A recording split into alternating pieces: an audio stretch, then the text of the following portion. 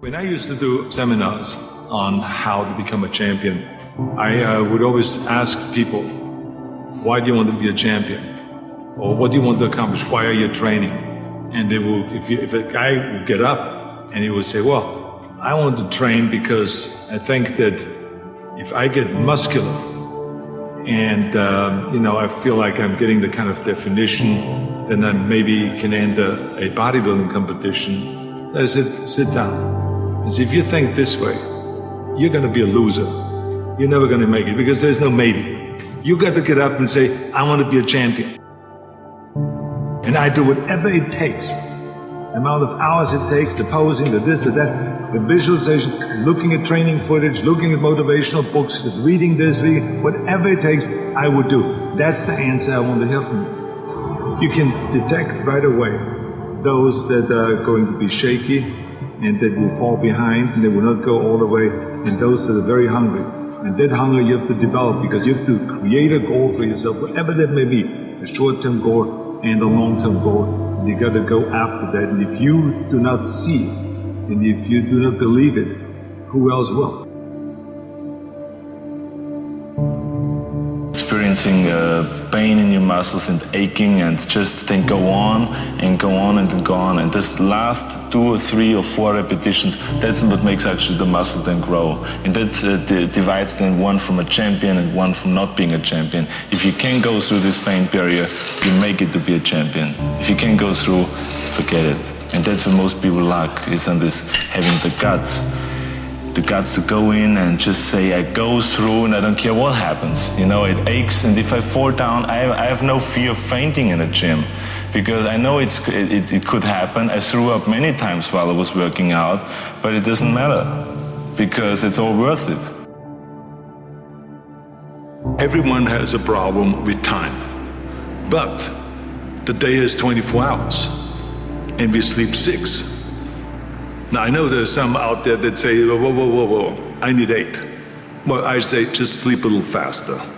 Because the bottom line is we have six hours of sleep, 24 hours are available, so you have 18 hours now available to your work, your family, your hobbies, and also to learn something new or to do something new, which could easily be that you want to learn a new language, or that you want to read as a, you know, New Year's resolution, I have to read a book every week, or, or you say, I'm going to go and reshape my body.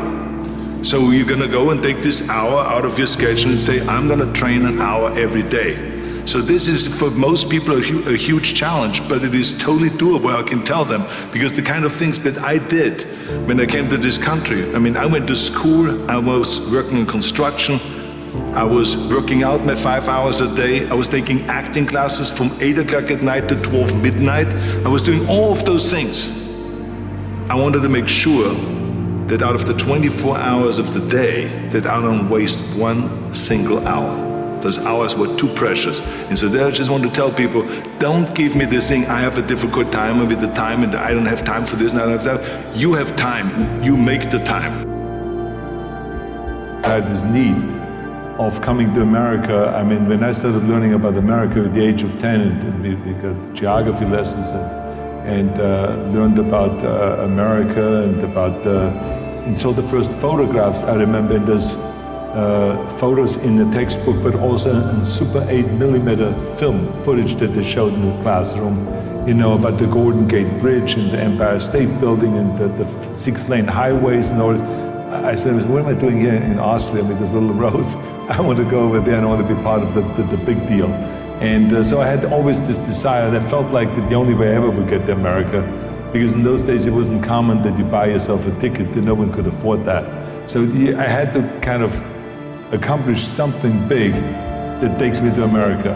And then when I, I read about this guy, Reg Park, who won Mr. Universe three times and then became a star in Hercules movies, and then was in Italy filming and then in Hollywood filming. I felt that could be the ticket. I should become Mr. Universe. I should become kind of a second Reg Park. Of course, no one really bought into that. My parents thought I was totally insane. And, uh, but they just, I think that uh, uh, my parents really thought that there was something terribly wrong of being that driven. You know, because I would come home at lunchtime and instead of having lunch, I would do 200 sit-ups. And then at night I would go to the stadium and I would be lifting weights. I would come home at 10 o'clock at night and I would be continually lifting weights. So it was like one of this insanity in the military. I would continue lifting weights no matter how the training was and how tough the basic training was, I would always then lift weights afterwards. I think it's the most important thing that we have a very clear vision of where we go, a goal, where, where do we go?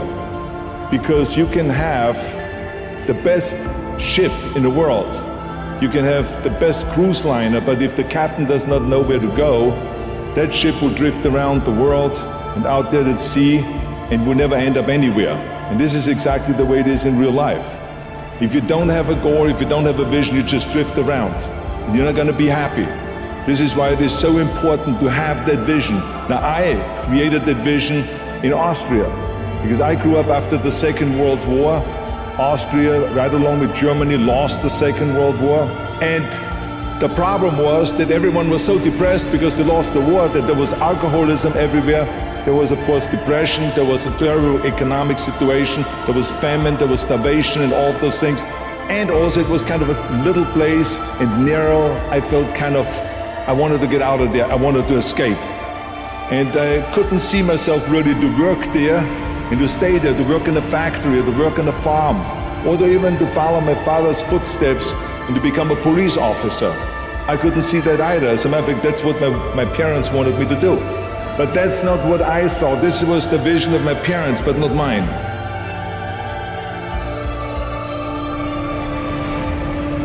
You get to work your butt off.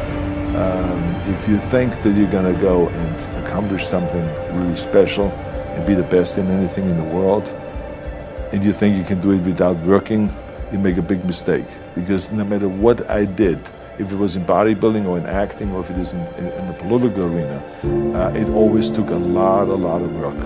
And you got to put out and you got to, you know, something make a lot of sacrifices. Notice, if you're not willing to work hard, forget about it. So this is another rule that is uh, very important don't be afraid to fail. Uh, because if you're afraid to fail, then you're always holding yourself back because you're afraid that if you go all out, you may fail. Well, in weightlifting, we learned that very quickly. The only way you could break a record is if you're willing to fail. That's when you put on more weight, you try it. Sometimes you maybe don't, you will not be able to lift it, uh, which has happened to me many times. But eventually, when you train hard enough, you will lift it. So don't be afraid to fail. I mean, how far can you fall?